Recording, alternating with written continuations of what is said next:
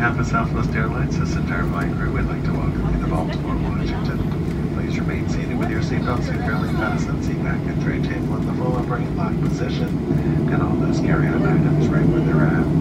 You may now use your cell phones or electronic devices as long as you don't get your personal items run buckle your seatbelt. The captain does turn off the seatbelt sign when she's flush when opening those overhead bins. Items do tend to shift during flight and could